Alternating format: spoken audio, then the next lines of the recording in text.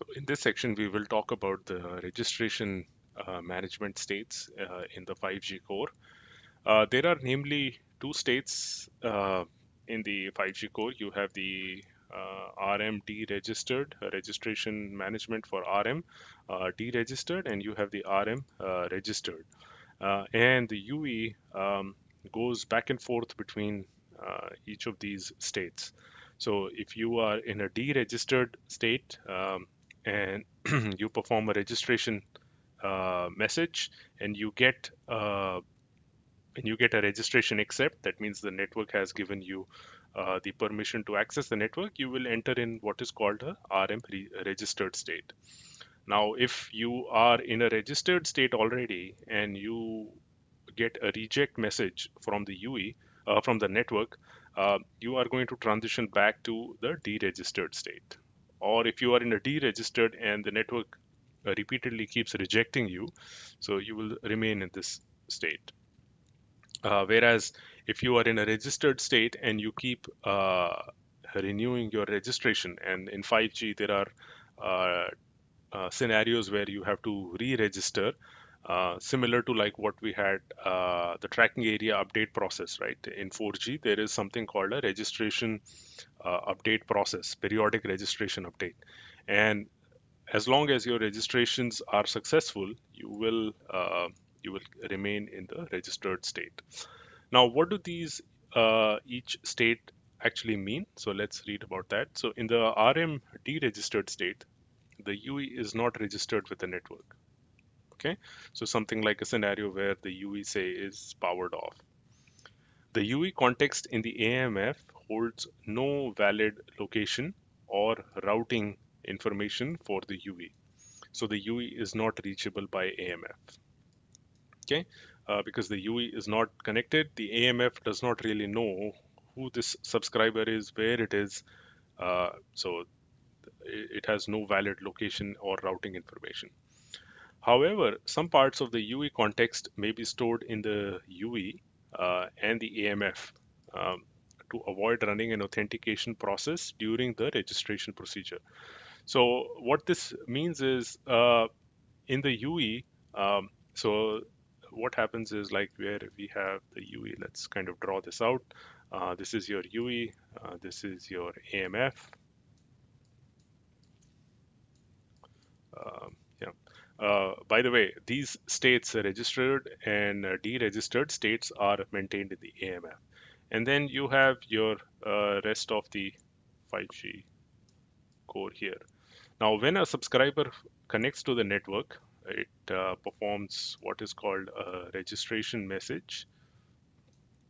The AMF downloads a bunch of information from the 5G core related to like subscriber uh, subscription right? There is a subscription um, and you have um, you have some policies so you can have policies and all these information is downloaded by the AMF from the 5G elements uh, be it the PCF uh, be it the UDM um, and they are maintained in the AMF uh, the AMF is essentially caching all this information. Now, if this UE were say to power off, right? If it powers off, that means it uh, deregisters from the network, right?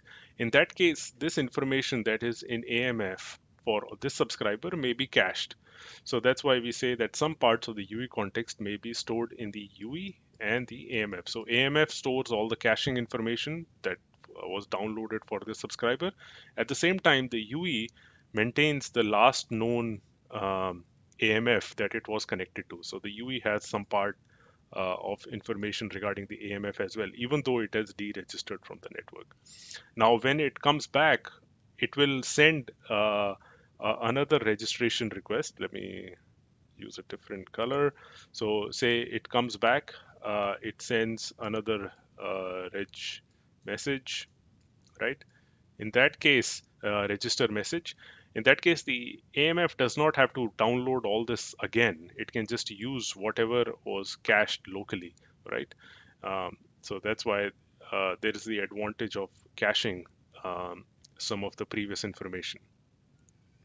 Now, in the registered state, uh, the UE shall perform mobility registration update procedure if the current uh, tracking area indicator of the serving cell uh, is not in the list of tracking area indicators that the UE has received from the network in order to maintain the registration and enable AMF to page the UE. So let us understand that. So in in a 5G uh, coverage, you can have multiple uh, what we call um, tracking areas, right? So you can have your, as an example, say you have six, you have one, two, three, four, five, six, okay?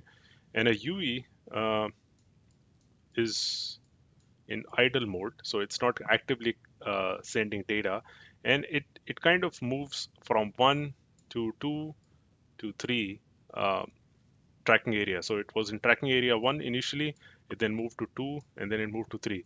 Now, in order for the AMF to keep track of the UE on a tracking area level, uh, it needs to do a process called mobility registration update every time it changes the tracking area. Uh, and this is similar to what we had in LTE, which was called a tracking area uh, update procedure, right? The TAU procedure. So, um, yep, it, it, it does that because AMF has to maintain uh, the reachability for the paging uh, for uh, the UE for like uh, incoming downlink data. the UE also shall perform periodic registration update uh, triggered by the expiration of the periodic update timer to notify that the UE is still active. So we, we talked about that the UE will up, perform a, a, registration update procedure if the tracking area of the serving cell changes, like as it moves here. In addition, so say if the UE was in tracking area 3, um, there is a timer T, uh, there is a timer T, after which it has to reinitiate the periodic registration. And what this tells is, uh, this tells the AMF that even though I'm in the same uh, tracking area as I was before, I'm just telling the network that, hey, I'm still there. If you have incoming data for me, uh, uh, this is my tracking area and uh, this is my serving cell and uh, you, th that's how you get hold of me. So, uh, so in registered state, just to sum it up, in registered state, we perform mobility registration update if the tracking area changes or if the timer expires for the periodic. And in the deregistered, uh, nothing really happens in terms of signaling, but both the UE uh, and the AMF can retain certain parts of the context. So that is uh, it for the registration states. Uh, next, we will look into the connection management states.